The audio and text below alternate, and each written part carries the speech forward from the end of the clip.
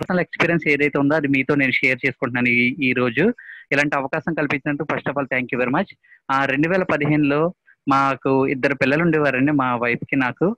అటువంటి తరుణంలో ఒక బాబు ఒక పాప. ఆయనకి వన్ ఇయర్ దాటగానే ఫిట్స్ అటాక్ అయిందండి. అంటే బ్రెయిన్లో గుడ్ గుడ్ ఫ్యాట్స్ లేక ఫిట్స్ అనేది అటాక్ అయిందండి. ఆ ఫిట్స్ అటాక్ అవడం ద్వారా మంత్లీ సెవెన్ టైమ్స్ అనేది మా అబ్బాయికి ఫిట్స్ వచ్చేది. దాని ద్వారా చాలా మనీ మేము పే చేసేవాళ్ళం. హాస్పిటల్ విజిట్స్ ఎక్కువ ఉండి ఈ బాబుకి. అలాగే చూడండి రెండు వేల పదిహేనులో పిక్ అని పైన మా వైఫ్ మా బాబు ఉన్న ఫోటో తీసి పెట్టాను.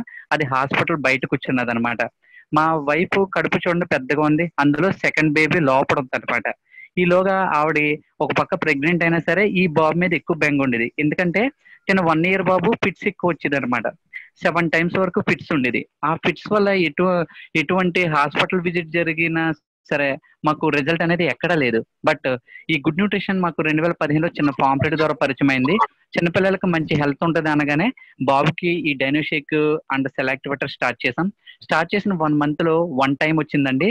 అది కంటిన్యూ చేసాం సెకండ్ మంత్ జీరో వచ్చింది.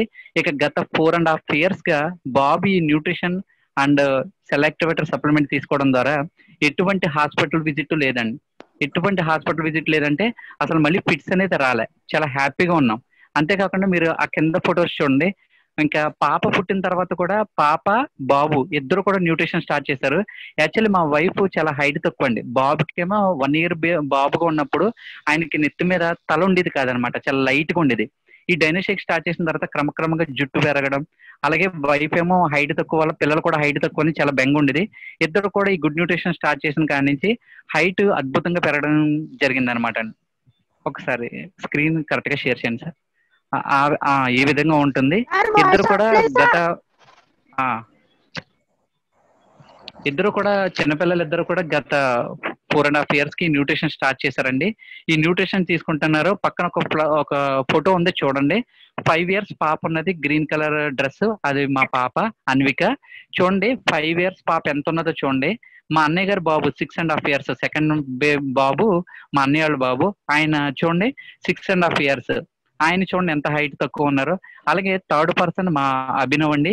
Six and half years but height చూసారా ఎంత ఎక్సలెంట్గా ఉన్నారో. అలాగే పక్కన ఉన్న మా అన్నయ్య గారి పాప టెన్ ఇయర్స్ అండి.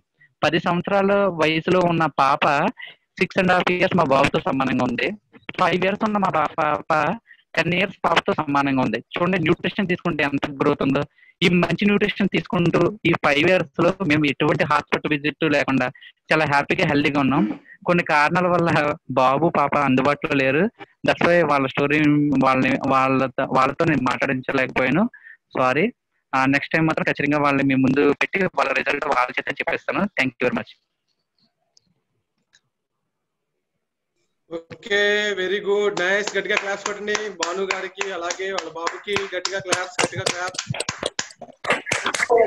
nice nice nice super wonderful right ఇప్పుడు మీరు నెక్స్ట్ స్టోరీ చూడబోతున్నారు. నెక్స్ట్ స్టోరీ వస్తుంది. ఒకసారి